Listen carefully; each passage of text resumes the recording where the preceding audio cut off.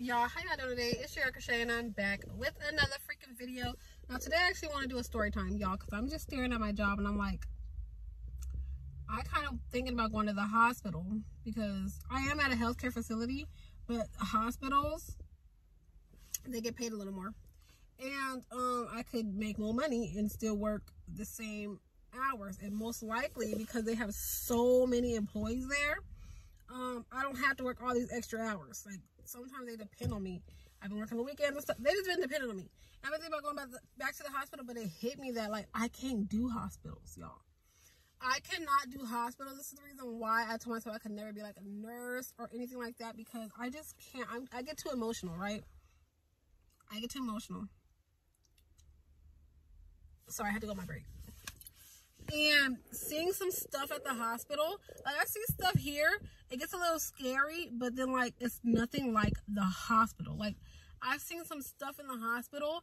I've seen a woman come in. She had uh she was pregnant big and pregnant. She's screaming you know screaming to go to the the delivery you know and she's bleeding down there. Liquid is coming out. Stuff is falling out and i'm like oh all at two, three in the morning. Like, whoa, it's a, it's a lot. And I remember, y'all, I, I don't know why it came to me. I completely forgot. I don't know how I forgot. But I remember there was this young kid. He wasn't a kid kid. He was, he was, you know, like in high school. He was in high school. He played a sport. I think he played football football or basketball, but he was the, the mom was bragging about he was a star. You know, he had so many scholarships and everybody wanted him and things were amazing for him. But she said, you know, he came in um, with a, a, chest, like a, his chest was hurting and he had a headache. And so they had to skip practice for him to come in. And, you know, um, at our place, they we had to give them um, like visitor badges. So we had to take their ID and, you know, scan them in. And so the mom told me a little bit information.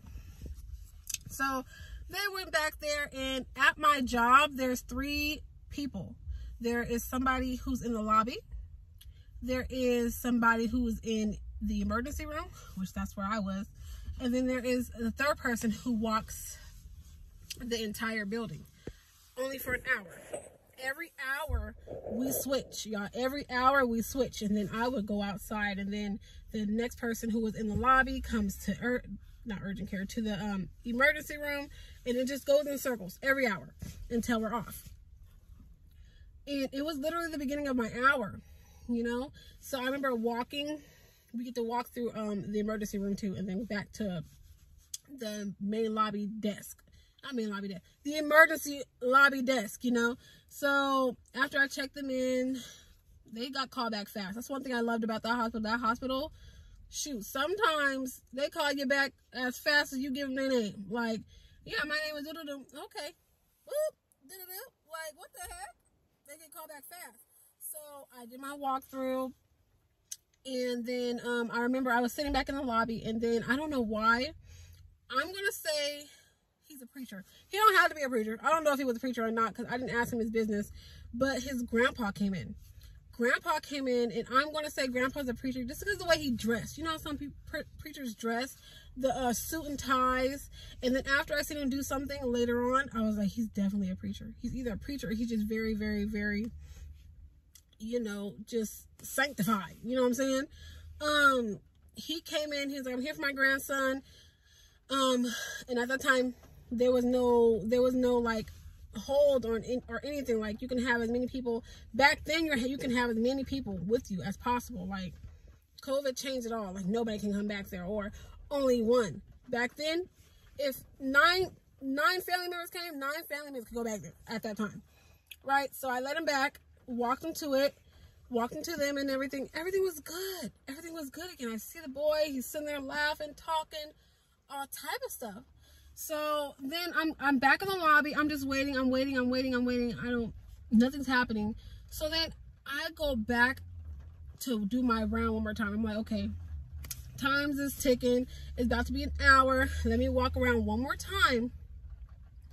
Let me walk around one more time before the next person comes in, right? when I get back there, this is why I can't be a nurse, okay? When things happen, I freeze up. Ain't no, you know, oh, she works real fast under pressure. She works crazy under pressure. She's, I'm not one of them. I'm letting you know, I'm going to get nervous. I'm going to stop, look like, I'm going to freeze. I'm going to freeze up, right? So as soon as I got back there, I was walking back there. Next thing I know, I hear an emergency response over the over the intercom and i'm seeing people running running running running running running. And by the time i get a few steps down the hall i see the boy okay? He is bleeding like he's choking coughing and choking and blood is coming not only from his nose but his mouth. And i'm stuck. I am stuck. And they are, they finally just start closing the thing. And when after they close it, I'm still stuck. Like I'm stuck on it. And I'm, I'm like, I know for one, for a fact, I messed up because I'm supposed to, in that time when things are happening, you're supposed to calm the parent down or move the parent out of the way so the doctors and everything could, could work on the, the patient, you know? the mom was right there. The mom was screaming and yelling and crying. And I'm I'm supposed to grab the mom and get the mom out of the way because the nurses and stuff. I'm stuck. I'm stuck. I'm literally just looking. I am looking and I'm just like Cause I'm like, please don't let anything happen to this boy. Like the mom was just sitting there talking about all the scholarships in the sports and he's number one in here and he's this and he's that and he's straight A student and he's like what is going on? What is going on? What is going on? Next thing I know, you know, things are going slow motion. Like I'm looking at this, I'm looking at this, this person running, this person shutting the the the the, the little curtain. The mom is screaming and yelling and they're trying to push mom back. And I'm like, what the heck? What the heck? And the boy is like down, down. And they're just like, oh, I'm like, what? Oh my God, what? And I look down on the ground. I didn't see grandpa on the ground. I didn't realize grandpa is on the ground praying. Grandpa is, he, grandpa stopped everything he was doing and prayed. Grandpa was on his, his knees just praying. He was just praying. And then the nurse, that's when the nurse was finally like, okay, I need everybody to move. Everybody back up. Everybody move. Everybody back up. And I'm still kind of stuck. Y'all, I'm kind of stuck to where I'm just like, what the heck was going on? What's going on? What's going on? And then finally, my coworker tapped me. And I'm like, yes. He was just like, I don't know what's going on, but it's time to switch. And I tried to, then I just kind of like woke up like, oh, I said, there's this boy he's he's he's in sports and he's this, he's that. He came here for a headache and chest pains. He's now bleeding out the mouth. And they can't stop it, they can't control it. Grandpa is on the ground praying. Mom is over there screaming. I, I'm I don't know what to do. I don't know what to do. I don't know what to do. And he was just like, calm down, calm down, calm down. It's time to switch. I'll try to like let you know what happens after that. But while I was walking out of there to go to the my next, you know, my next part, which I think was outside. Um, no, I was going to the lobby. I was in the main lobby. I was going to the main lobby, and um, that I heard them say call call a call the helicopter because at that hospital it was a very very very small hospital. They couldn't. They don't do everything there. They don't do everything there. They only do the minimal. If it's not the minimal, they mainly send you to a bigger hospital depending on your your um your stuff that come back, your EKG and things like that. Once things come back, um, it kind of depends. Like they'd be like, okay, we can help you here, or they'd be like, okay, we're sending you here. Period. So um, they said they were calling a helicopter because they couldn't help him. They didn't know. And whatever whatever his EKG came back, they said his EKG came back. I don't know what that stuff means. I don't know what it read out. I don't know what happened, but. sorry I had to run outside for a second real quick. And it is still coming down. But anyway, um, I, on the computer, the computer does tell you too much, okay? Now, see, that's why where I'm at, they do not, we are not allowed on the computer. Um, the computer tells you, like, if you read it, it tells you, like, the EKG and stuff like that. I couldn't read that stuff. I don't know what that stuff meant, but it had like levels and all that stuff. And I'm just sitting there looking at it and I'm just praying too. I'm just praying that everything is okay with this boy. Like, I don't know what the heck is going on. I just don't know. Uh, after that, a few minutes, helicopters come fast, okay? After that, a few minutes, literally, you hear the helicopter. You hear the helicopter. So I'm like, okay, it's landing, it's landing, it's picking the boy up, it's picking the boy up. And then guess what? They leave.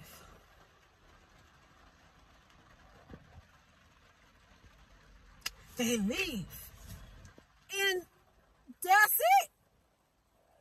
That's why I can't be be at a hospital. Because the way that you talk to these people and you get to know these people and they tell you their life and then something like that happens and you want to know what happened I want to know what happened to that boy. I pray, I pray that he's still alive. I pray that whatever happened was fixed and that he is out there um, that was a few years ago. Like I said, he hit, they, he had scholarships, so I hope he chose a college. I hope he's playing sports. But I don't know what happened. Literally, even after I finally switched in there, I was just kind of like, "Hey, what happened?" Oh, he was transferred to this hospital. Everything, every, when I say everything gets transferred over, everything, his, all his information, everything gets transferred over and it doesn't stay in the system. It doesn't say, okay, this person woke up, this person's now in this room, this person now. I don't know. And for a long time, because I knew his name and I knew what hospital they were going to, I for sure I did want to go to the hospital, but I felt like that's me doing more than my job, and then I didn't want like if the if the mom ever felt any type of way or anything like that, just saying if she did, I could get in trouble because you know, why are you stalking the boy and figured out like where he, what hospital he's going to. And, but like, I was really, really, really invested and I just pray and I just hope at the end of the day that boy was okay. You know what I'm saying? I don't, I can't be in healthcare for that reason. I can't be in healthcare for that reason. There's also another lady that I fell in love with at the hospital. She was amazing. She just had Alzheimer's. So sometimes she wake up and she be she be tripping. She be tripping, but she also had other things that was wrong with her while she was in the hospital. But she had Alzheimer's. And she, when I say some some days, we had to just lock her down. Lock her to that bed. Sometimes we had to do that because she was little but on days where she was good, she was amazing. She told you all type of stories and that's why I, I love Grey's Anatomy and stuff like that because guess what? When you watch Grey's Anatomy, you know what happens. They work on the person.